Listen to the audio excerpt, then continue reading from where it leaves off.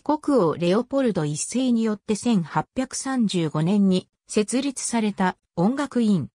現在はホーグスクールジェントの一部となっている。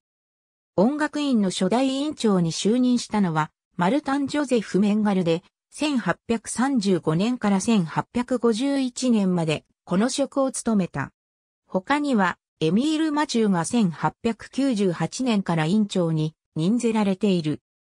音楽院の著名な卒業生、教員には1841年からメンガルに指示したフランソワ・オーギュスト・ジュバール、卒業後に同院の教授となったポール・ルブラン、22年間ピアノ科の教授を務めたエドワール・パトヘイスらがいる。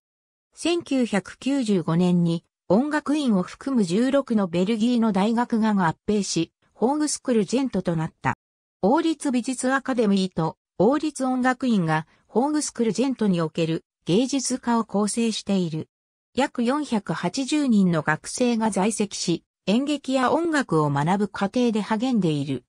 同校は伝統的に室内学の訓練に特に重きを置いている。